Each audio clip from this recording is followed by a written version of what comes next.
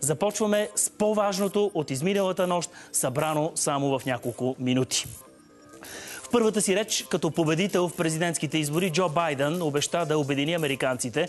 Ще управлявам като американски президент, не като демократ, заяви Байден и съобщи, че още утре ще назначи експерти за борба с пандемията.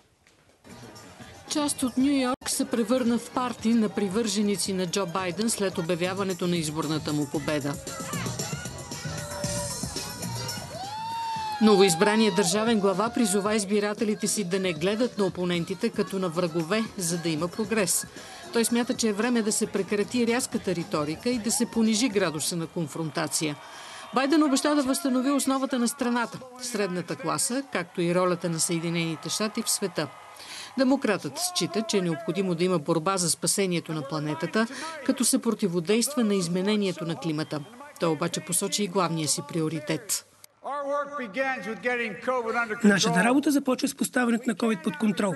Не можем да възстановим економиката, да върнем нашата жизненост или да се насладим на най-ценните моменти, да прегърнем внуците, децата ни, да посрещнем рождени дни, сватби, дипломиране, докато не го поставим под контрол. В понеделник ще определя група водещи учени и експерти като съветници, за да поемат плана Байден Харис за covid и да го приведат в проект за действие, който ще започне на 20 януари 2021 година.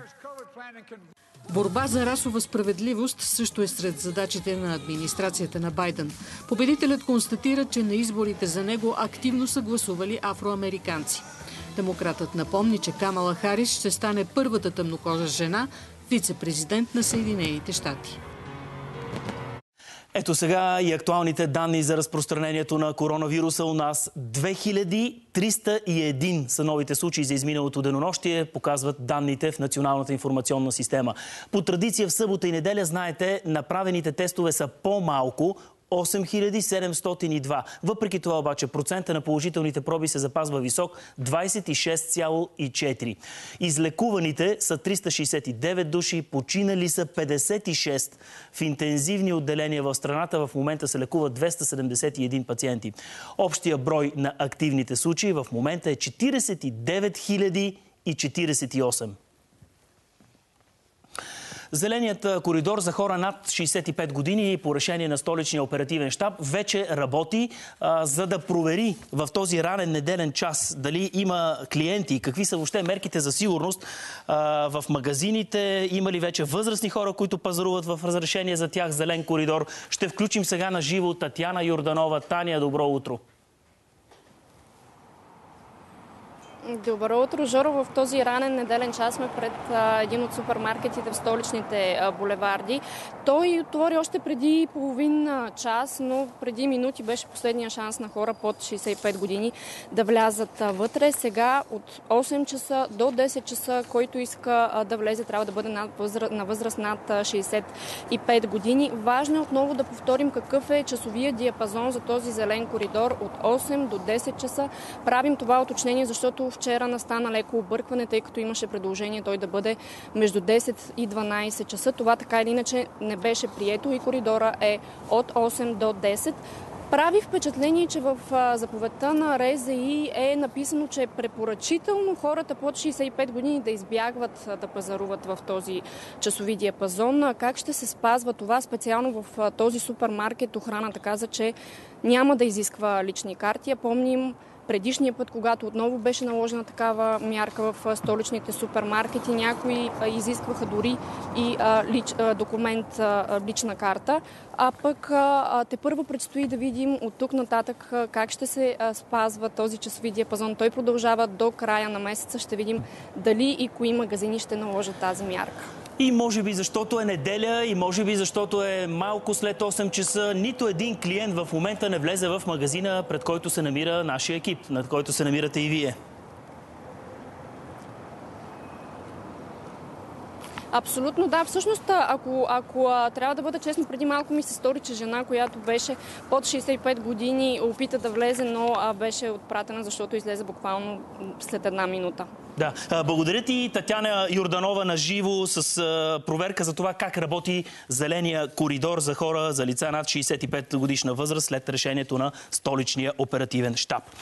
От днес Германия изисква предварителна онлайн регистрация на пристигащите от България. Мярката е част от превенцията на коронавирусната инфекция и е задължителна.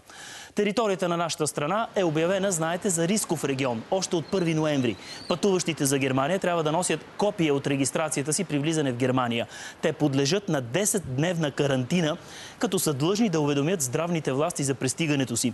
При необходимост от съдействие българските граждани могат да се свържат с дипломатическите мисии в Германия. Единственото място във Варна, което приютява бездомни хора, е общинския приют. Капацитетът му е 100 души, а в момента там са настанени 50. Новодошлите преминават медицински преглед и ако имат симптоми, ще, бъдат, ще им бъде направен бърз тест за COVID-19. Ако той е положителен, ще им бъде направен и PCR тест. Това съобщи за посвета и у нас Таня Василева от Общинската дирекция социални дейности. В приюта са обособени стаи, където евентуалните контакти лица да бъдат изолирани.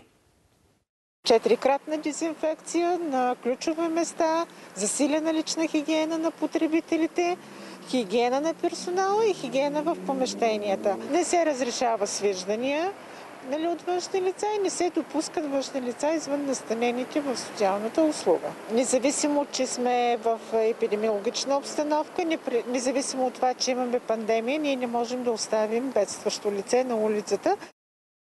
Служители на МВР излизат днес на национален протест с искане за по-високи заплати. Протестът е организиран от най-големия полицейски синдикат Федерацията на служителите в МВР. Оттам съобщават, че днешната демонстрация ще премине при засилени мерки за сигурност заради епидемията. Влизането на мястото на протеста, а именно в градинката на църквата Свети Седмочисленици, ще става през 4 входа, където ще се измерва температурата на протестиращите.